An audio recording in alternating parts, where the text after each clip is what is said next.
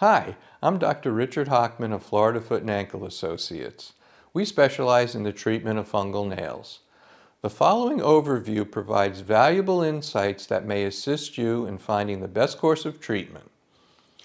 Fungal nail infections are a very common condition. If your nails are discolored, thick, and brittle, chances are you have a fungal nail infection, also known as onychomycosis.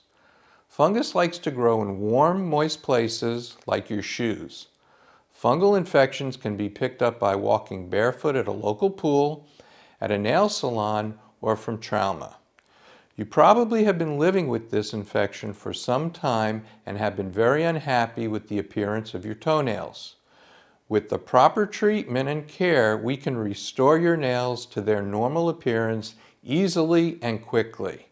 After examining your nails, the doctors at Florida Foot and Ankle Associates will determine if in fact you do have a fungal nail infection before administering any treatment.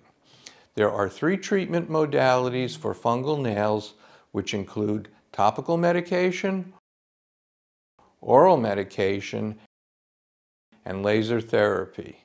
Laser therapy uses energized light to destroy the fungus living in and under the nail.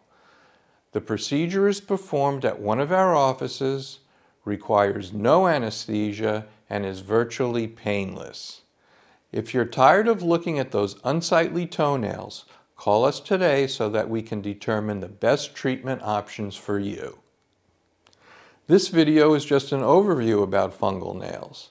Below this video is a link to our website that has more detailed information on this specialty and a search tool where you can locate a specialist who is close to you that has expert knowledge on this specialized area of care. Plus, there is specific information on other specialties and over 60 common foot conditions.